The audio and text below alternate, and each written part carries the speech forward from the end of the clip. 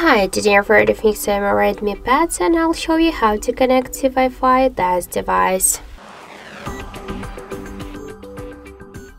So first let's open the settings application and then we should tap to the Wi-Fi section. Just to activate Wi-Fi we should use the switcher, just click on the switcher to activate it and after that we can see here all the available networks. Let's select one from this network, here we should enter the password.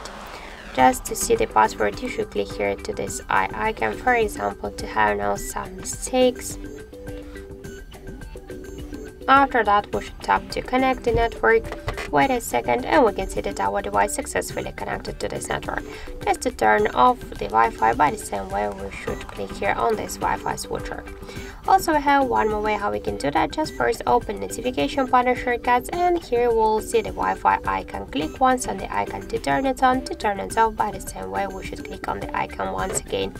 And if you want to launch the Wi-Fi settings, hold it for a while and just by the same way select here the network and then the password and tap to connect.